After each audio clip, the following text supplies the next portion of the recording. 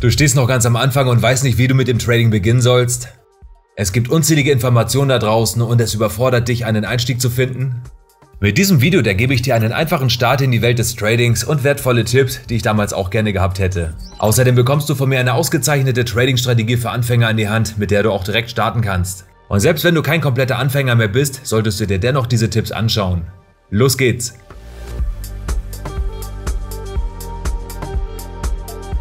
Willkommen bei Kasparei Trading, ich bin Alex. Auf diesem Kanal, da lernst du sehr viel rund ums Trading. Nicht alles, worüber ich hier rede, das verwende ich auch tatsächlich selber. Bitte verstehe alle Strategien und Möglichkeiten nur als Ideen. Trade nichts davon mit echtem Geld einfach nur blind nach, sondern beschäftige dich zuvor intensiv mit den Inhalten und teste es mit einem Demokonto. Egal ob Aktien, Indizes, Forex, Kryptos oder Rohstofffutures, du kannst das hier vermittelte Wissen mit jedem Asset umsetzen.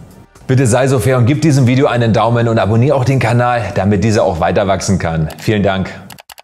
Ohne dir jetzt einen Vortrag zu halten, wie toll Trading ist und was es alles für Vorteile bietet, erzähle ich dir gleich, was du wissen willst. Die Vorteile sind dir ohnehin bekannt, deswegen interessierst du dich ja dafür. Auf die Gefahren gehe ich später ein. Mit wie viel Geld solltest du starten? Mit 0 Euro. Du hast richtig gehört. Du startest mit Spielgeld. Und erst wenn du dein Demokonto mit solidem Money Management auf 10 bis 20% Gewinn hochgetradet hast, dann erst solltest du überhaupt einen Gedanken daran verlieren, echtes Geld zu investieren. Die optimale Startsumme mit dem Trading zu Beginn hängt von deiner Trading-Strategie ab und auch von deinem verwendeten Instrument. Willst du mit Aktien starten, dann sind diese ungehebelt. Das heißt, du musst die Aktie komplett kaufen, auch wenn du vielleicht nur ein paar Punkte mitnehmen willst. Je nachdem wie teuer die Aktie ist und wie viel Stück du davon kaufen willst, kann die erforderliche Kontobalance schwanken. Willst du jedoch mit CFDs beginnen, dann kannst du theoretisch mit deutlich weniger Geld starten, denn die Tradegröße ist sehr flexibel anpassbar. Wichtig ist zu wissen, dass CFDs und auch einige andere Derivate ein höheres Risiko aufweisen, da man immer zu einem Teil Geld vom Broker geliehen bekommt. Zumindest in der Theorie. Dies ergibt den sogenannten Trading-Hebel. In der Praxis ist aber das tatsächlich verwendete Risiko pro Trade entscheidend, wie riskant dein Trading ist und nicht der theoretisch verfügbare Hebel. Ich persönlich riskiere nie mehr als 2 bis 3 Prozent pro Trade. Ich würde also eine Position immer schließen, wenn diese 3 Prozent meines Guthabens aufgebraucht sind. Dabei ist es mir völlig egal, ob ich theoretisch einen Hebel von 30, 100 oder auch 1000 hätte, also mit geliehenem Geld vom Broker deutlich größere Positionen und somit auch ein größeres Risiko handeln könnte, da ich diesen Hebel niemals nutzen würde. Eine sinnvolle Startsumme wäre mit CFDs 1000 bis 5000 Euro. Und wenn du mit Aktien starten willst, dann solltest du mit ca. 10.000 Euro starten. Aber auch bei Aktien, da kannst du dein Trading in einem gewissen Rahmen gut skalieren. Denn von Penny Stocks, die ich persönlich eher meiden würde, bis zur A-Aktie von Berkshire Hathaway, die über eine halbe Million Dollar pro Stück kostet, ist für jeden Geldbeutel was dabei. Aber auch wenn du theoretisch mehr Geld zur Verfügung hast, solltest du klein anfangen und etwa mit der genannten Summe starten. Erst wenn du tatsächlich im Echtgeldhandel erfolgreich bist, solltest du dein Kapital auf deine Wunschkontogröße nachkapitalisieren. Mit welcher Trading-Plattform beginnen? TradingView in der kostenlosen Version und MT5 mit kostenlosem Demokonto. Unter dem Video ist ein Link zu dem Broker, den ich verwende. Dort kannst du dir ein kostenloses Demokonto anrichten. Der Vorteil ist, dass du selber angeben kannst, mit welcher Startsumme du beginnen willst. Der Handel, der wird im Demobetrieb sehr realistisch abgebildet und du hast einen sehr guten Eindruck, wie es sich im Echtgeldhandel dann anfühlt. Du kannst alle Funktionen und Orderzusätze ausprobieren, ohne dass Fehler teuer werden können. Speziell für Trading Robots, also für automatisierte Trading-Strategien, ist MetaTrader 5 zu empfehlen. Für Analysen auf dem Chart und Trade-Entscheidungen ist allerdings TradingView das Maß der Dinge. Die Vielfalt an Indikatoren und technischen Möglichkeiten ist riesig und der Umgang geht sehr leicht und intuitiv von der Hand. Auch hier lässt sich ein Demokonto betreiben, welches sich Paper Trading nennt.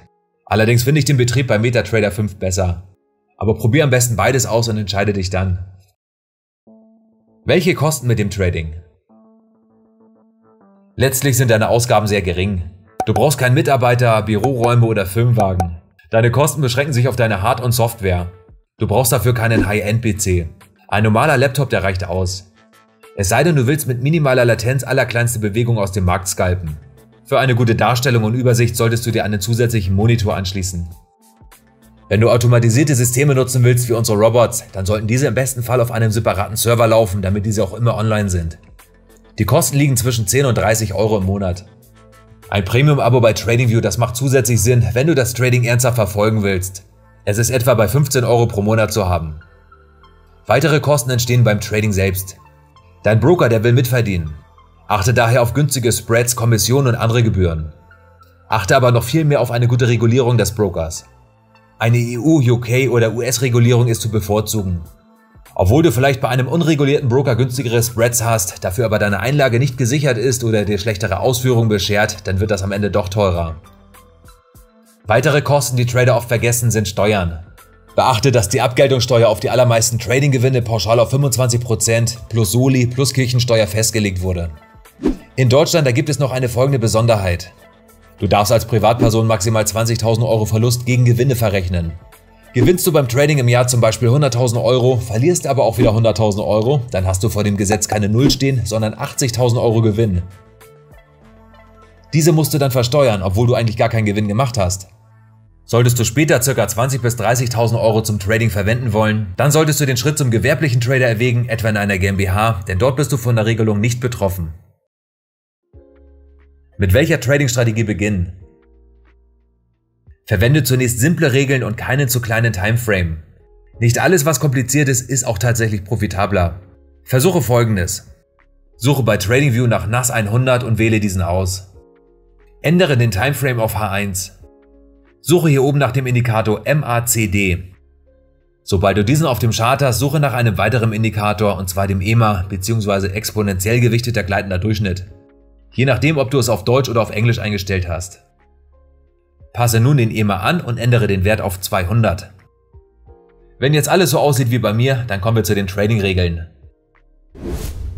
Wir gehen einen Long Trade ein, wenn der Kurs über dem EMA 200 ist und die MACD-Linie die Signallinie unterhalb des Histogramms kreuzt. Sobald die Kreuzung zur nächsten Stundenkerze abgeschlossen ist und du im Histogramm den Farbwechsel von Rot auf Grün siehst, dann starten wir einen Long Trade, also eine Trade in steigende Richtung.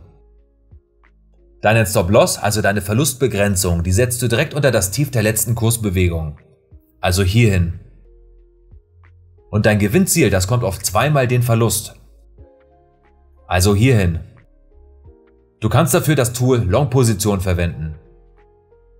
Du legst es an den Punkt, wo du den Trade starten willst. Also am Schlusskurs der letzten Kerze, denn das wird auch der Öffnungskurs der neuen Kerze sein. Dasselbe gilt auch für Short, also für Trades in fallende Richtung. Der Kurs da muss unterhalb des 200er EMAs sein und die Kreuzung des MACDs und der Signallinie muss oberhalb des Histogramms ablaufen. Wenn dies passiert, setzt du wieder deinen Einstieg zur abgeschlossenen Kerze, deinen Stop-Loss an das aktuelle Hoch der letzten Bewegung und das Gewinnziel zweimal so weit weg wie den Verlust. Und du siehst, dieser Trade wäre ein Gewinner gewesen. Um diese einfache Strategie zu üben, da kannst du jetzt einfach mal auf dem Chart zurückscrollen und alle Trades einzeichnen, die du machen kannst. Wenn du später mit dem Demohandel beginnst, dann solltest du bei dieser Strategie nur 1% Risiko pro Trade verwenden. Das ist etwas Simples, womit jeder Anfänger starten kann, um ein Gefühl für den Markt und auch für das Trading zu bekommen. Du kannst später natürlich alles Mögliche ausprobieren. Wähle grundsätzlich eine Strategie, die auch zu deinem Leben passt. Wenn du von morgens bis abends einem anderen Beruf nachgehst, dann wirst du sicherlich kein Scalper, der versucht, die kleinsten Bewegungen aus dem Minutenchart zu schneiden. Denn dafür benötigt man sehr viel Zeit. Grob gesagt, je größer der Timeframe ist, desto weniger Zeit benötigst du. Oder du verwendest Trading Robots, wie wir das bei Kasparei Trading machen. Dann ist der Zeitaufwand minimal, egal wie viele Trades der Bot macht. Er macht es ja schließlich alleine.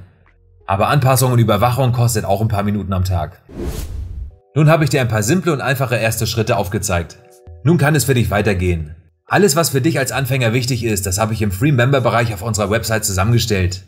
Melde dich einfach kostenfrei an und genieße eine komplette Trading-Ausbildung für lau. Viel Erfolg! Ich hoffe, dir hat der Inhalt gefallen und du konntest etwas Neues lernen. Falls du jemanden kennst, dem das Video auch helfen könnte, dann teile es ihm doch einfach. Schreib mir auch einen Kommentar, wenn du magst. Ich werde dir auch garantiert antworten. Hab eine tolle Woche und bis zum nächsten Video. Thank you.